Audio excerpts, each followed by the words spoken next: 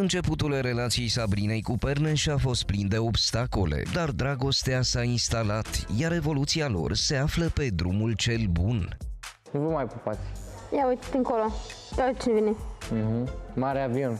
Dă și mie pinguinul ăla de acolo. A, Sabrina, Ai oglinda mea cumva. da, de ea mea. Ia ta o... Ai învățat numai de la asta, ai învățat să vorbești urât. Da, mă, așa știai tu cu mine. Ce pateu e singur, am ajuns de stau în living. Parcă acum două săptămâni era lume în living aici, știi? Persoanele singure. Nu mai sunt. Acum eu mai sunt. Ei, tu. Mai insistă cu privirile și nu o să mai fie. Privire la ce? De-abia trebuie să ieșim de aici să mergem acasă. Mamă. Mai este mult. Oricât ar fi rezistam. Mm, Da, reziști tu. Tu? Cum rezisti eu? Tu. Și eu, tu ce faci? Reziști și eu lângă tine, dar tu reziști. Dar poți să-mi zici și dacă vrei să-mi zici ceva, să nu te taci. Spune-mi. Nu vreau să stau cu tine. Dar stai cu mine, da. Zi ce vrei tu, de exemplu, că viața Dar ta. zi tu că eu tot ți-am zis. Ce mi-ai spus? Ți-am zis tot. Ai, Dipa. Nu, dar să-mi zici dragostea mea. Știi ce să-mi zici? Ce, iubita? Ia zi tu așa. Așa. Ce-ți place la mine? Ce place la tine? Mm. Da, îți zic, dar după aia îmi zici tu, da? Mm. Nu, păi ori să ne corecți, ori nu. Da, lasă că eu te-am întrebat pe tine. Tu o să când ai cu ideea asta, o să-mi zici. Ce, după aia îmi zici tu, da? Bine, hai zi. Așa, dacă mă minți, vezi că îmi place niciuna. Cu ce te-am mințit? Că, bine, hai zic așa cum o zic și după aia nu mai zici. Te așa te minți. Vezi că te mușc, așa te Te mușc, minți îți cu lasă ceva? o urmă, un crater îți lasă. Te-am în- mințit ceva?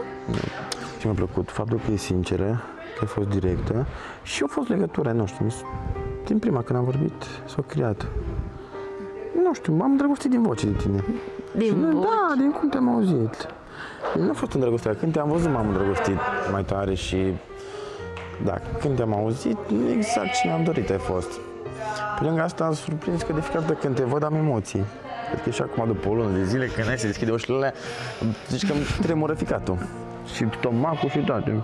Și mă gândesc, nu stop la tine, îmi place că am sentimentul ăla, știi? Adică, na, nu mă plictisești chiar dacă nu vorbesc. Sunt toate. Și îmi place că ești asumată, ești direct.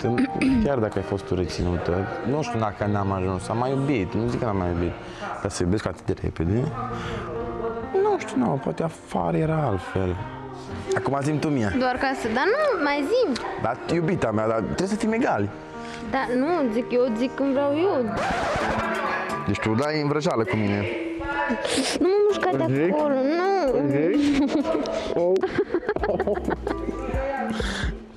Și îmi place că... ce îmi place cel mai mult, că lângă tine ești fericit și dacă supărat, îmi trece. Asta și eu. Și mă gândesc mult la tine, adică mă termină gândul că sucile astea și nu te povedea sau... Nu știu, sunt lucruri frumoase și, și mă gândesc la lucruri de viitor cu tine, la planuri, la vacanțe, la copii, la câini care trebuie să ți găsesc, la pisicile care trebuie să le caut pe străzi. Știi că o să fii mușcate de mine mult. Nu, nu trebuie să mă muști. Atunci spune O să-ți scriu. O, ai de capul meu, dar tu când o să-mi spui când te întreb ceva? Dar nu ți-am mai răspuns când m-ai întrebat Nu ceva? mi-ai răspuns. Îmi place foarte mult cum ești. Îți place? Ce te deranjă la mine? Ce lucruri nu ți-au plăcut? Că ai f- a fost afirmația aia, mi-a plăcut, am văzut multe lucruri care nu mi-au plăcut. Ce nu ți-a plăcut? Păi nu-mi plăceau ieșirile astea ale tale. Care? Da, am avut ceva certuri și ieșiri Ah, de astea. ok. În care ridicai tonul și dintre astea. Deci Dar ești mă șco- trezesc că zic ceva ce nu-ți convine și începe a urla, Ah, nu. știi? Dar ești conștientă și la modul cel mai serios dacă cineva ar avea ceva cu tine, că s-ar putea să-i izbunesc mai grav decât am făcut până acum. Nu am să concep niciodată ideea cineva să ridice tonul la tine, să te supere sau să-ți vorbească, să te jignească. Ești viitoarea mea soție și nu glumesc cu chestia asta. De ce te-ai schimbat? Sau de ce te-ai anulat lucrurile astea? Te-am văzut pe aici prin casă, știi, când noi cumva nu mai aveam treabă. Nu, tot mi era dus de seama doar de tine și așa și vreau să stau de vorbă cu tine sau să stau cu tine. Eu când am început să-ți fiu drag? Tot de la început. Tot de la Blind Date. Mă rog, după ce te-am văzut și așa, mi-a răpit. Tu de ce crezi că n-am renunțat? Nu știu, ai vrut să atingi un scop, ai reușit, nu știu. Asta crezi te întreb. Ce trebuie? Pentru că aveam sentimente reale pentru tine și tot ce am simțit și tot ce am zis a fost real și că vedeam semne din partea ta. Atingeri, mână, o grămadă de lucruri. Și zic, poate a fost și involuntare, dar le simțeam.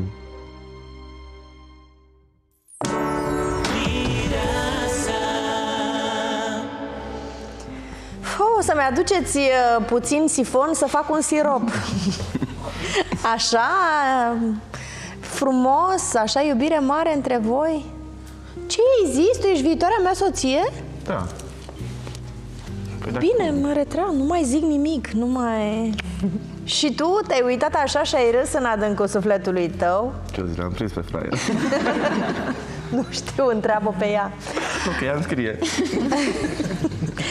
Auzi, Sabrina, da, mi-aduc eu bine aminte când te-ai dus tu la întâlnirea, la blind date uh, cu Perneș atunci. Uh, mi se pare că ai plâns înainte da. și toate fetele spuneau, hai pregătește-te, pregătește-te și tu ai zis, da, de ce să mă pregătesc, că oricum nu mă vede, mă duc așa cum sunt.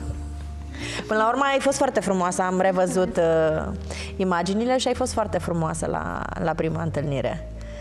A fost așa o întâmplare. Știai de Ce? treaba asta? Și-au plâns? Nu, da, și că a venit și a zis eu vin nepregătită. Da, am aflat ulterior. Ulterior, da. da. Dar nici nu contează. Eu v-am zis vouă, aveți grijă cum vă prezentați, că s-ar putea să duceți gunoiul și să vă întâlniți cu dragostea vieții voastre, da? Deci trebuie să fim frumoase și uh, pregătite oricând. Dragilor, uh, va trebui să ne luăm rămas bun acum.